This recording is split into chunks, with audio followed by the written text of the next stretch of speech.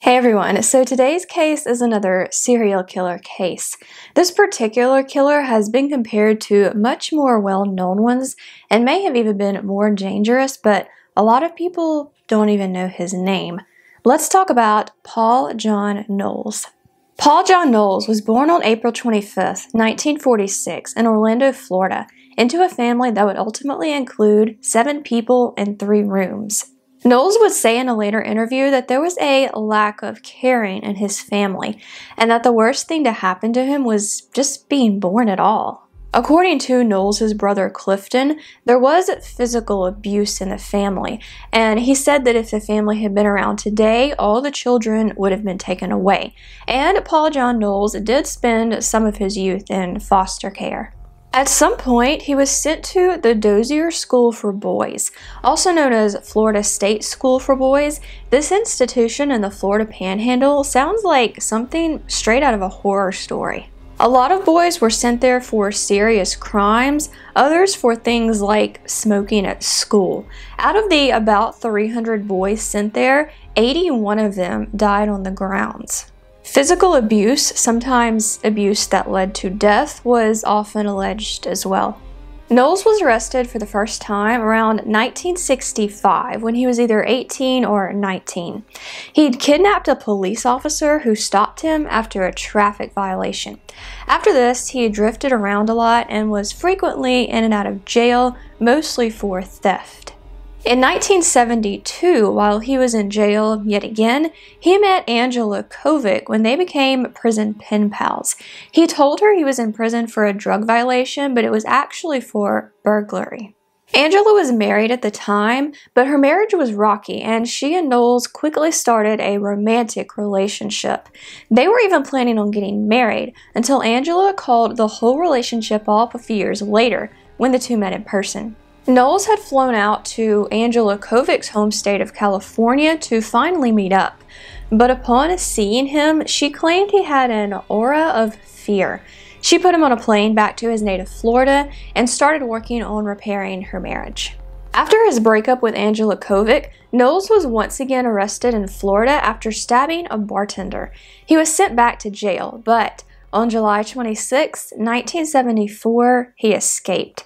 This escape would start the crime spree he's best known for.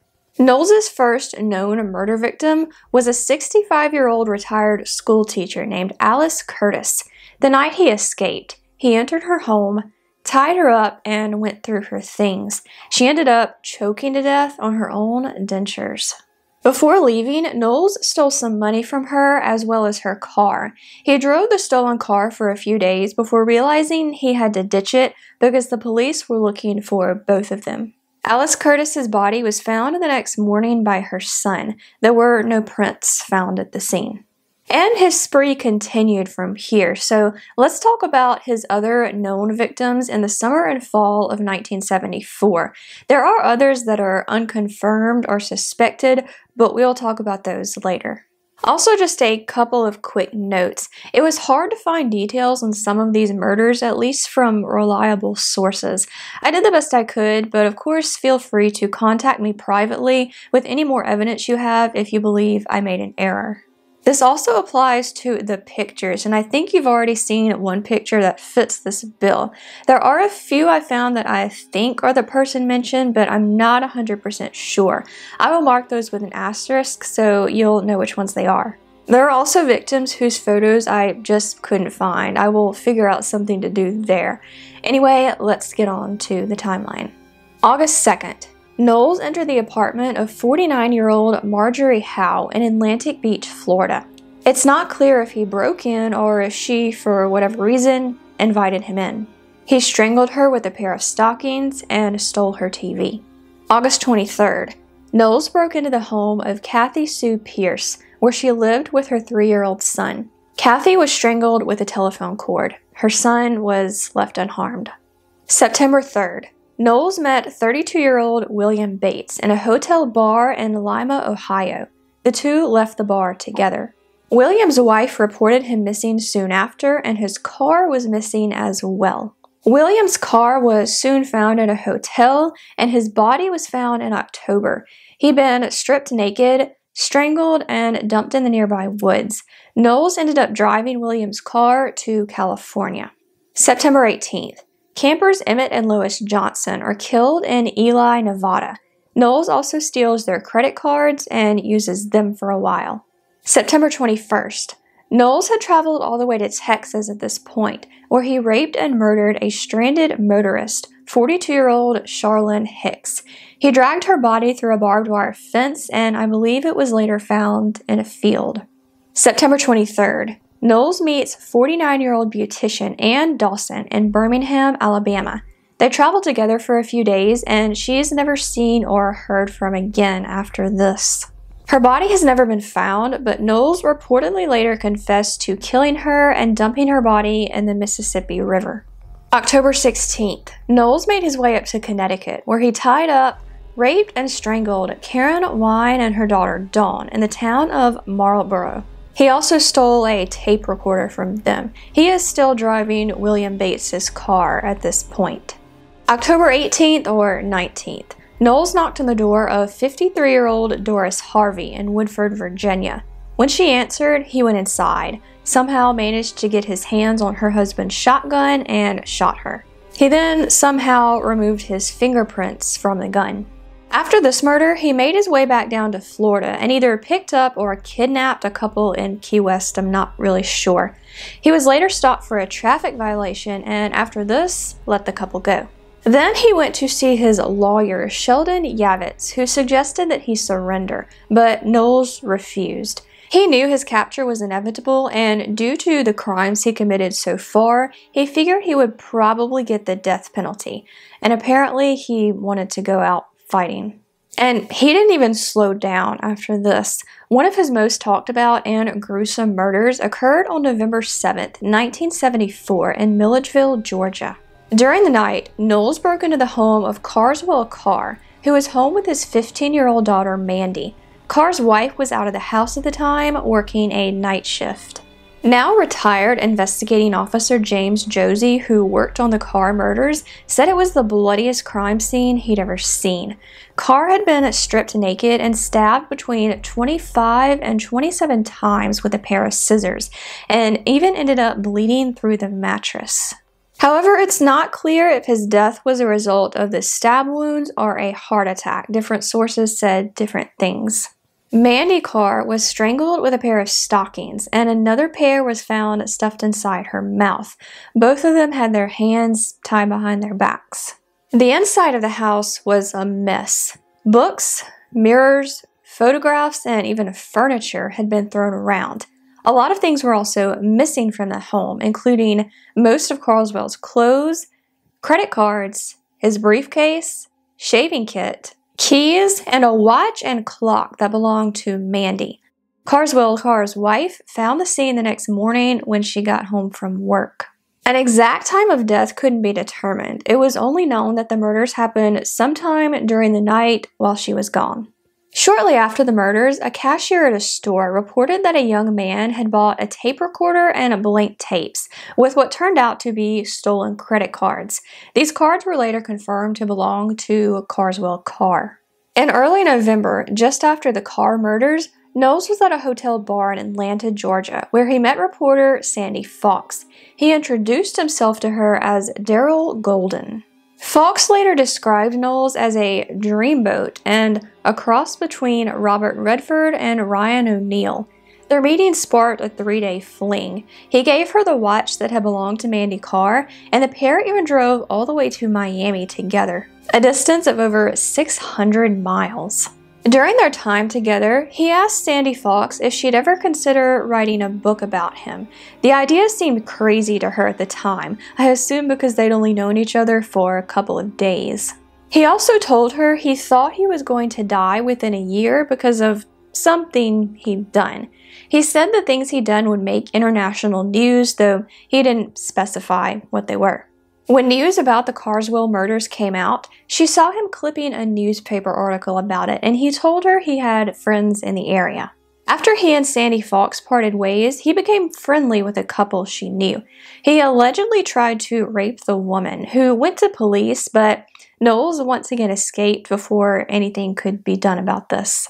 In 1977, after Fawkes had learned who her former lover really was, she did publish a book about him, Killing Time, which was later re released as Natural Born Killer. I will leave a couple of links to it below if you want to check it out. After his fling with Sandy Fawkes ended, Knowles stayed in Florida. At some point, he gave a woman a ride and held her at gunpoint, but she managed to escape. He abandoned the car he'd been in and then arrived at the West Palm Beach home of Beverly Mabee and her sister, Barbara Tucker. Barbara's son was also in the house at the time. I assume he lived there as well. Just another quick note most sources referred to Barbara as Barbara Tucker, but she gave an interview later where she was referred to as Barbara Abel and said it was her married name. I'm not sure where Tucker came from, but that's what I'll call her from here on out just for clarity's sake. Beverly was the only sister home at the time, and Knowles attempted to gain entry inside by posing as an IRS agent named Bob Williams. Beverly didn't believe him, so he forced his way in, where he tied up both her and Barbara's son. Beverly has cerebral palsy and has some trouble doing things on her own. When Barbara got home from work, she found her sister, as well as her son, who was still young enough to be in school, tied up.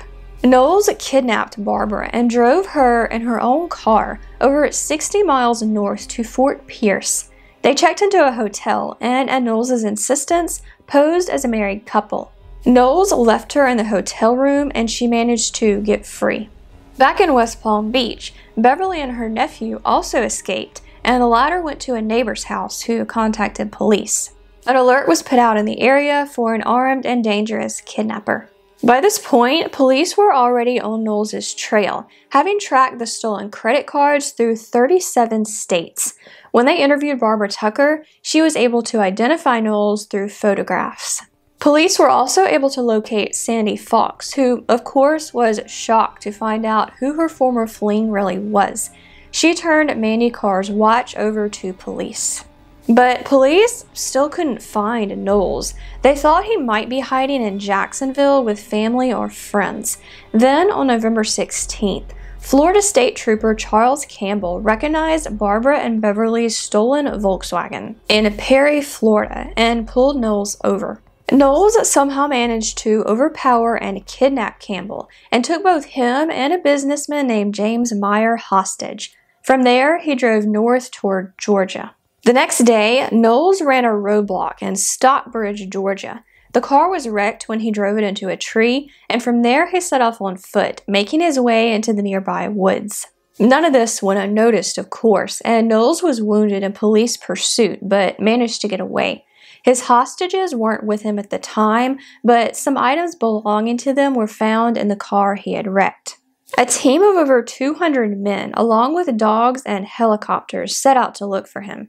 Knowles initially took refuge in an abandoned farmhouse where he found a shotgun and a few shells, but he couldn't stay long. The police were still looking for him. He made his way out and tried to take another hostage, Hunter David Clark, but Knowles' new shotgun didn't work, and Clark was able to use his own gun to keep Knowles from escaping until police arrived. Knowles was arrested that day and taken to Macon. He was eventually charged with seven counts of murder, though he was suspected in at least 12. As we'll learn later, he almost certainly killed even more. Paul John Knowles had been on the run for five months. He drove over 20,000 miles through 25 states and had victims in Georgia, Florida, Texas, Connecticut, and Nevada. And Knowles wasn't exactly warm or cooperative after his arrest, said James D. Josie, who handled the Georgia investigation. Knowles had the coldest eyes. He could see right through you. He had no qualms about killing. After Knowles was arrested, he gave something to his lawyer that isn't often involved in these cases tapes.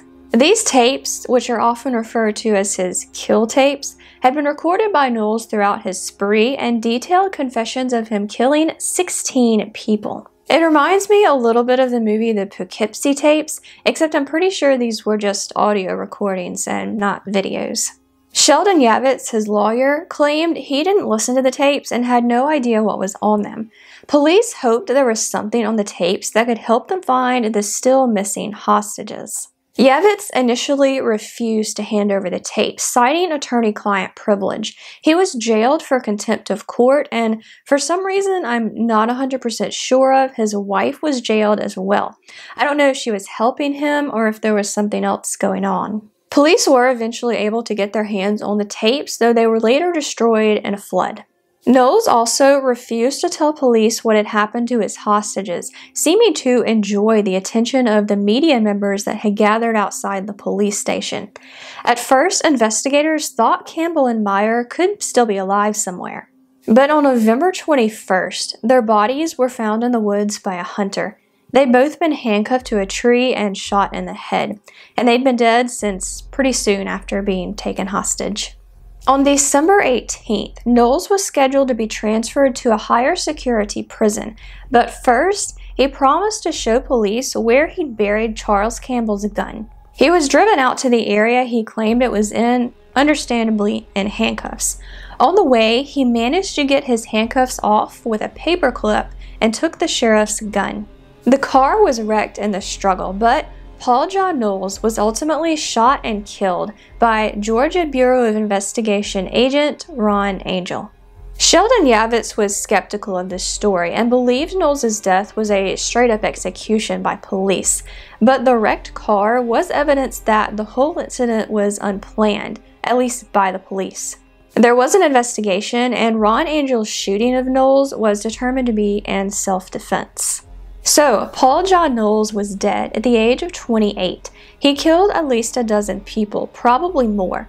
Some reports even claim he confessed to killing up to 35 people on his so called kill tapes. But how many other victims could he have had?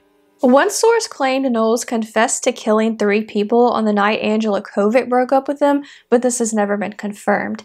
He's also suspected in the rape and murder of a Jane Doe in Nevada in September of 1974. I couldn't find anything else about this case. Knowles also might have been responsible for the deaths of Macon hitchhikers Edward Hillard and Debbie Griffin. Edward's body was found on November 2, 1974. Debbie has either never been found or was found the next year. Different sources said different things. I found very little on these murders as well. There's also speculation that Knowles was responsible for the murder of a Jane Doe known as Little Miss Panasoffkee. The woman's body was found on February 19, 1971, in Lake Panasoffkee in Sumter County, Florida. She's never been identified, and her case is really interesting if you want to look into it further. So now let's talk about Ima Jean Sanders. Ima Jean was 13 years old when she ran away from her home in Beaumont, Texas on July 4, 1974. From there, she went to live with her mom, stepdad, and younger sister in Warner Robins, Georgia. On August 1st, Ima Jean was babysitting her sister, who reportedly saw her get into a van. Ima Jean wasn't seen alive again. Her mom initially thought she had run away again. She filed a missing persons report, but forgot which agency she filed it with. No missing persons report has ever been found for Ima Jean, and it's presumed to be lost. Ima Jean's skeletal remains were found by hikers in 1976 in Peach County, Georgia. According to Wikipedia, part of Warner Robins is in Peach County and the other is in Houston County. I know Wikipedia isn't the most reliable source, but I think it's safe to say Ima Jean's body was found pretty close to where she disappeared from. Her body wasn't identified until 2011, and investigators thought back to Paul John Knowles. A 1975 letter written by then U.S. Attorney Ronald T. Knight says Knowles confessed to picking up a hitchhiker in August 1974. This hitchhiker was a girl who appeared to be in her teens and gave her name as Alma. Knowles confessed on his kill tapes to raping and strangling her and leaving her body in the woods. He came back two weeks later to find her badly decomposed body and buried her jawbone. There was also a rumor that Knowles confessed in his kill tapes to killing a teenage girl close to Macon, just down the road from Warner Robins. Ima Jean Sanders falls into this age range and location, and the name Alma sounds similar to Ima. Although it's never been confirmed, investigators are reasonably confident that Ima Jean Sanders was this teenage hitchhiker killed by Knowles. But perhaps his most well known potential victims are the Anderson sisters. Mylette and Annette Anderson disappeared from their home in Jacksonville, Florida on August 1, 1974, not too long after Alice Curtis, Knowles' first confirmed victim. 11 year old Annette and 6 year old Mylette were home alone that night. Their dad was at work and their mom was visiting a relative. The timeline is a little fuzzy from here. One source says their mom called the house at 6:30 and everything was fine, but their dad got home around 7 and said they were gone. Another source pushes this back to the mom calling around 7 and the dad arriving home at 7:30 to find them gone.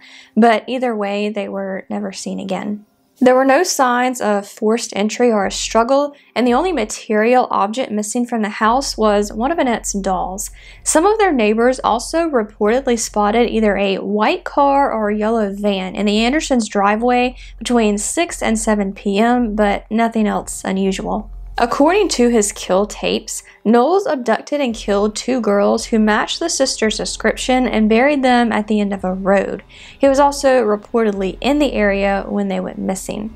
Annette and Mylette's bodies have never been found. I will include a link below to Annette's Charley Project page, which has more information about their case.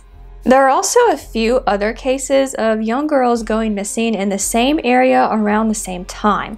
I've never seen them being explicitly mentioned along with Knowles, but it has been speculated that they're connected to the Anderson sisters, so I will include a little bit about them here. Virginia Helm was 12 years old when she disappeared on her way to a store on September 27, 1974. Three days later, a girl matching her description was spotted in a red car similar to the one witnesses had seen during the search. Her body was found in a wooded area in the city on October 25th of that year. She'd been shot in the head and partially buried, wearing only a blouse. Her case remains unsolved. Rebecca Green was also 12 years old when she also disappeared walking home from a store on October 16, 1974. Her body wasn't found until 1977, close to Fort George Island in Jacksonville.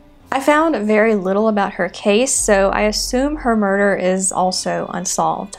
There's also the case of Jean Shuen, who disappeared on July 21, 1974. She also disappeared while walking home from a store, but according to the Charley Project, she's not thought to be connected to the Anderson sisters since they disappeared in different parts of the city. Jean's body has never been found. So, Paul John Knowles was pretty prolific, but why did he seem to have such bloodlust? Why did he kill so many people so brutally? And why did he kill so randomly with victims of all ages and genders, unlike most serial killers? Based on what I've read about Knowles, I think it's safe to say he thought pretty highly of himself. When he first met Sandy Fawkes in an Atlanta bar, he told her about the book Jonathan Livingston Seagull, a book he loved. I admittedly haven't read the book, but from what I have read about it, the title character at the end becomes somewhat of a Christ figure. Knowles' father was a carpenter, just like Jesus and his earthly father, Joseph. Knowles also lied about his age to Sandy Fawkes. When he was 28, he said he was actually 33, the age Jesus is generally thought to have been when he was crucified. There's also been a lot of speculation that Knowles spared both Sandy Fawkes and Barbara Tucker because they worked in the media. Fawkes was a reporter and Tucker worked at a radio station. If they were spared, he might have thought they could one day tell his story and give him the notoriety he seemed to want. Knowles clearly enjoyed the attention he got when he was arrested, both from the police and the media. He also said he wanted a book and a movie about his crimes and for the proceeds from those to be split with his mom.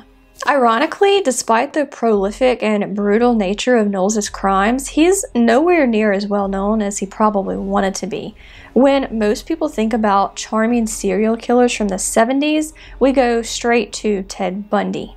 James Josie believes Knowles was even more brutal and more vicious than Ted Bundy. Why he isn't as famous is a bit of a mystery. So that's all I have for you today on Paul John Knowles. I certainly hope I'm not contributing to the attention Knowles wanted in life just by talking about him. I do think it's important to share cases like this because you never know what someone could get from them. For me personally, this case serves as a reminder to keep your guard up and not judge people by their outward appearance. Just because someone is attractive and charming doesn't automatically mean they're good. If you enjoyed this video, be sure to like and share it. And for more dark content, I hope you'll consider subscribing and hitting that bell. Thanks for watching, and I will see you next time.